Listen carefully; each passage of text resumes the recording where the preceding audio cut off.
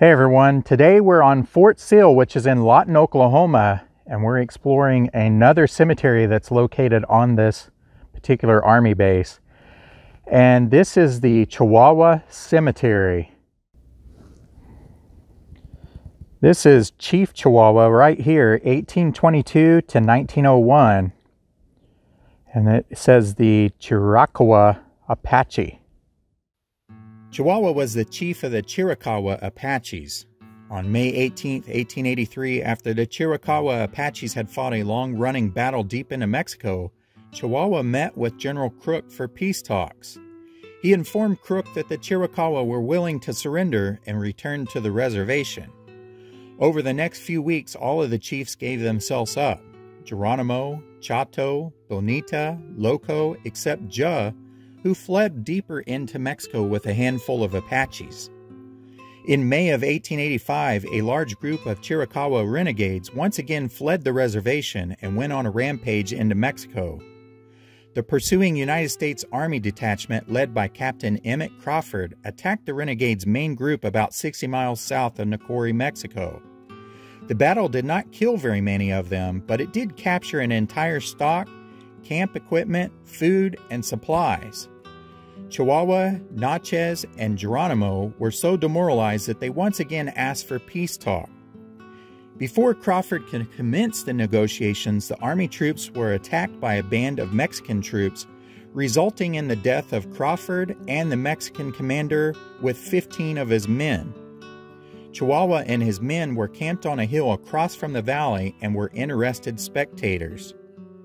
After this battle was over, the Mexicans withdrew and the Apaches met with Lieutenant Marion P. Maus, now in command. They agreed once again to meet with General Crook and returned to the reservation. Most of them did return and agreed that they would be sent to a camp in Florida for two years and then returned to Arizona. Geronimo, however, met with some of the white men selling whiskey on his way back to the reservation and went back on the warpath.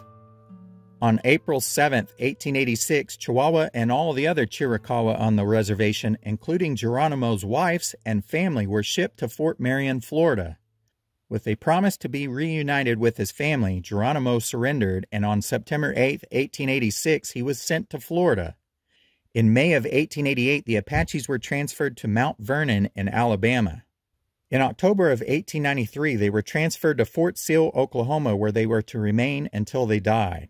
They still had hope that they would be returned to their land of Arizona, though. But here they remain, buried, as a prisoner of war in Fort Sill, Oklahoma. And then through here, you can see that this is uh, Emily T., the Apache daughter of Chief Chihuahua. So several of his uh, descendants here, and this is the husband of Emily Chihuahua right there. And another daughter of Chief Chihuahua, Mabel Chihuahua, May 17th, 1895. This cemetery is just kind of tucked in down a road that you got to drive further down from that main cemetery where Geronimo was. And there are not very many final resting places in here, but I thought we would walk around and just show them. This is Tennyson Chihuahua and the son of G Eugene Chihuahua and Viola Zaya. September 25th, 1901. Osceola Chihuahua, Apache son of Chief Chihuahua and Ilf Goze. Tom Chihuahua, Apache son of Chief Chihuahua, 1885 to 1896, so really pretty young, as with Osceola here, just seven or eight years old.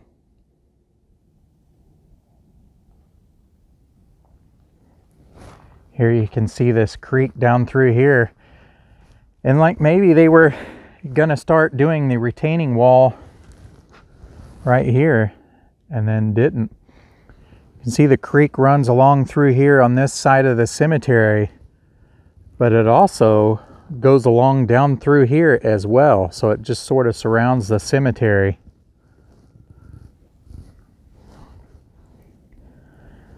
This is Fanny Chihuahua, daughter of Eugene Chihuahua. All these are from the turn of the century, early 1900s. This is just one year old, six years old right there. Rose Chihuahua. Esther Chihuahua, just four years old. Could be three years old. And maybe not yet four. Another Apache daughter of Chief Chihuahua. Raymond Chihuahua, son of Eugene Chihuahua, 1905 to 1906. Wally Osani, Apache son of Olsani and Non-Ish Kala, April 28, 1903.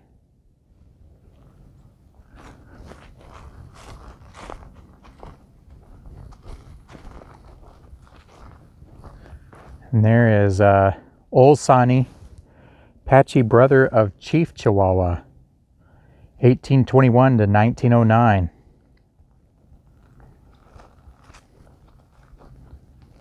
And there is Nan Ishkla, Apache wife of Old Sani, November 1st, 1907.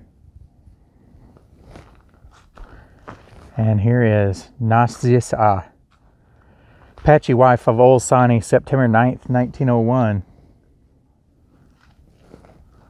And this is Adam Osani, Apache son of Old Sani and Naze, eh, September 3rd, 1898. And William Osani, not very old there, 13 years old, 1887 to 1900. Clarence Osani, and that is 1893 to 1911. Nago Sise, Apache wife of Chino, mother of Viola Zaya, 1850 to 1908.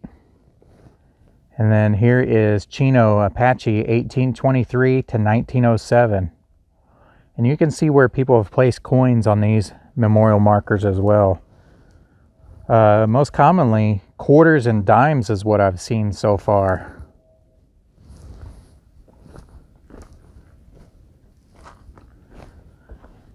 Can see these are uh, pecan trees that are in through here.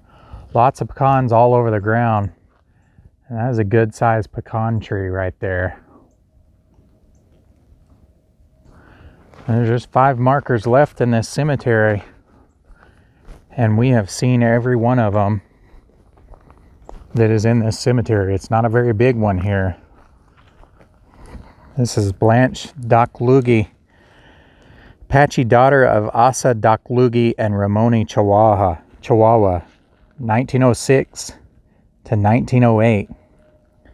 Thomas Pelcoy, Apache son of Olsani and Non Ishkla, 1875 to 1895. So just 20 years old right there. Three left. Does make you wonder with the space in between, not only in this cemetery, but the last one we were in, if there is anybody in between that is not marked. Has maybe been forgotten over time. Hopefully not, but Martha Kane Sewa, Apache daughter of Kane Sewa, September 1st, 1896. And this is Leonard Kanesewa Jr., Apache son of Kanesewa, September 1st, 1901. It's interesting that this was September 1st and that is September 1st, 1896 and 1901, but same exact month and day. Mrs. Leonard Kanesewa, Apache wife of Kanesewa, 1870 to 1905. And that is the whole cemetery of the Chihuahua Cemetery, just down this gravel road on Fort Sill. So this is going to conclude our little visit to the Chihuahua Cemetery with Chief Chihuahua. One interesting thing that Sarah and I found is that we didn't see his wife. There was no wife at all from Chief Chihuahua. But I hope you enjoyed it. Thanks for watching, and we'll see you guys next time.